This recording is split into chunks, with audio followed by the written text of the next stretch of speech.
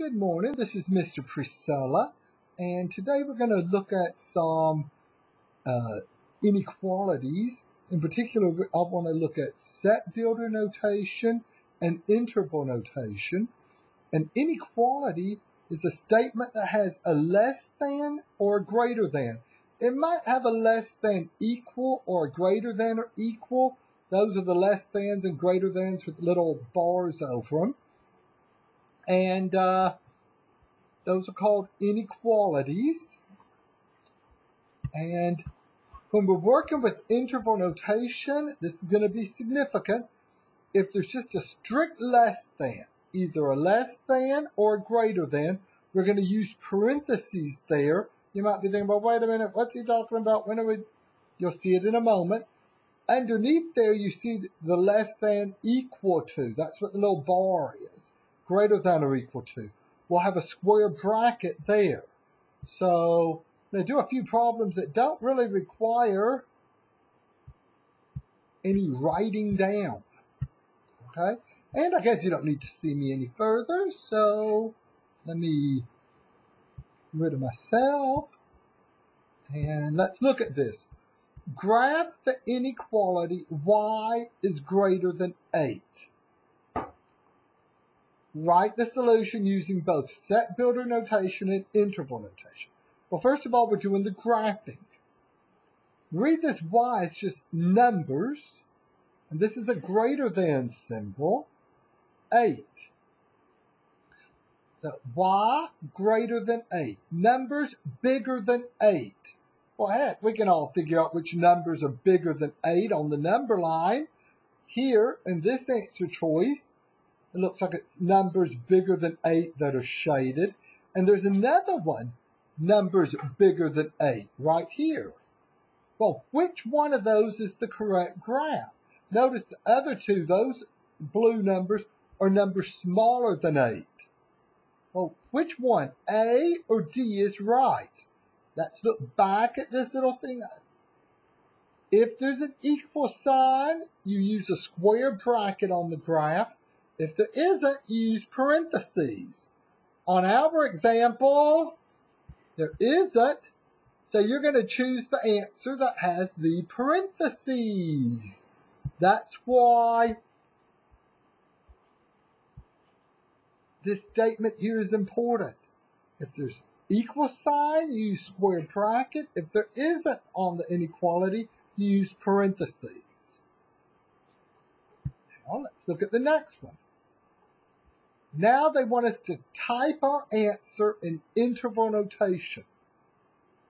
Well, with interval notation, we're looking at this graph. You're going to put, look at the shaded area. You start off with the parentheses and write the 8. Okay? Then write a comma and the next thing you're going to write is going to be the endpoint. Or this thing goes on and on and on forever. Okay? So, what symbol will we use for on and on forever? This little infinity symbol. And with interval notation, you always put parentheses by infinity symbols. So what I've written right here, parentheses 8 comma, infinity, parentheses, is the same thing as this graph. Okay? What region is shaded blue? Well, it starts at 8 with the parentheses and goes on to infinity. And we just have the rule that we'll always put parentheses on infinity symbols. Brackets mean equal to. That would be including. Here, we're not including the number 8. We just want numbers bigger than 8. So the parentheses mean not including. Okay. Oh, did I check that one? Yeah, now. And now we're going to write something called set builder notation. The set builder notation is, okay, this is read, the set of all numbers y, that vertical bar right there is such that and now here's the easiest thing you'll ever do. Just rewrite what's written up here with the uh, inequality. Click here and write y greater than 8. This is called set builder notation.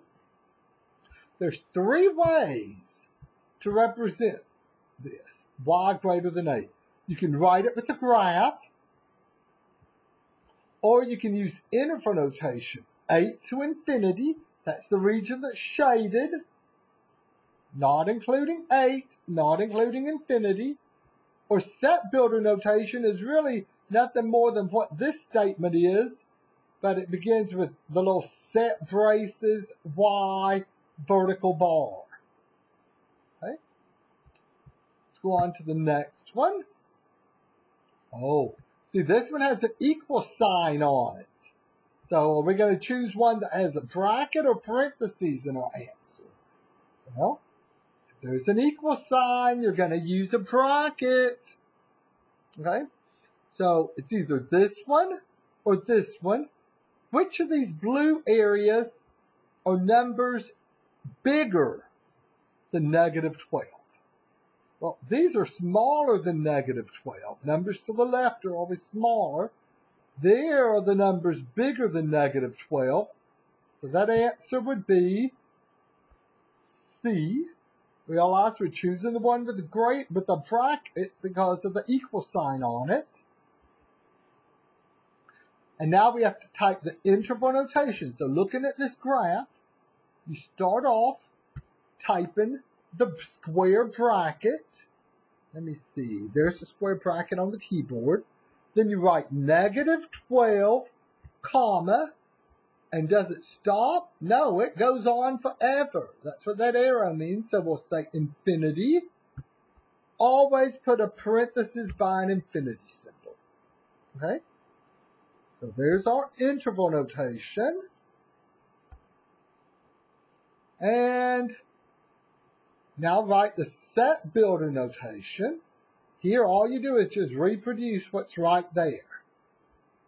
You say, in the box, you type x, I'm typing what's right here, greater than or equal to, that's this symbol here, negative 12. Notice, don't put any parentheses, uh, any spaces, it'll space it for you.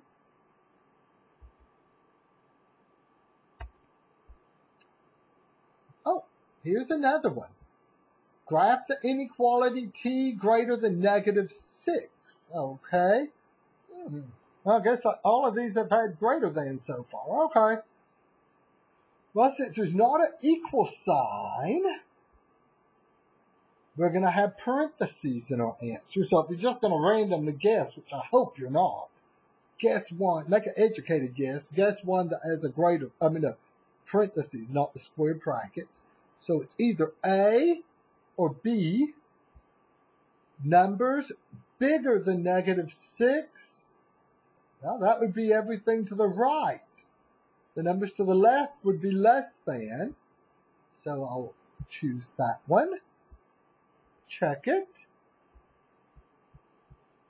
And now we'll write the interval notation.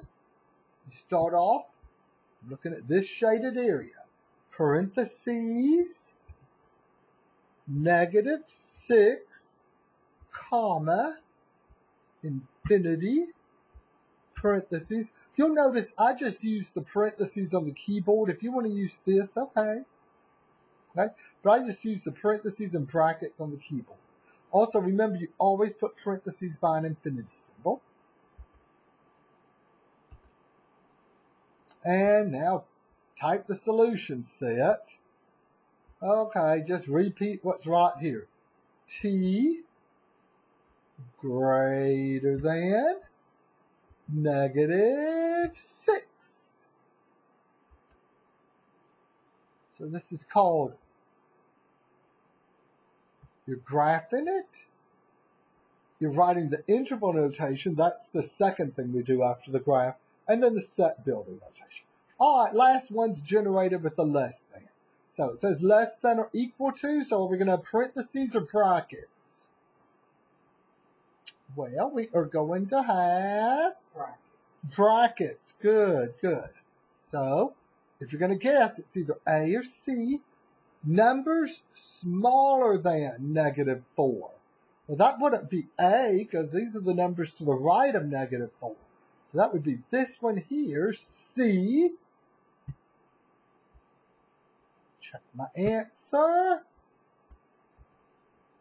Now let's write the interval notation. Now this one's different from the ones I've done. You're looking from left to right on this graph here. Okay. This arrow means it goes on and on forever. So the first thing you're going to do is type parentheses. The way we'll go on and on forever like that is negative infinity, comma, negative 4. Notice you always put parentheses on infinity symbols. And on the negative 4, I'm going to put a bracket because there's an equal sign. Check it. And then this easy part, the set builder notation, you're just recopying what's up there. X less than or equal to negative 4. Okay. So just a little discussion of graphing an inequality. Inequality is a statement that has a less than, greater than, less than, equal to, or greater than or equal to. We are uh, writing the interval notation and the set builder notation. Okay?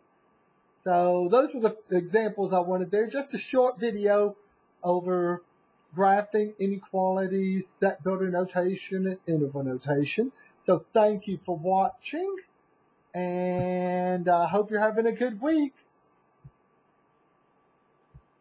Bye-bye.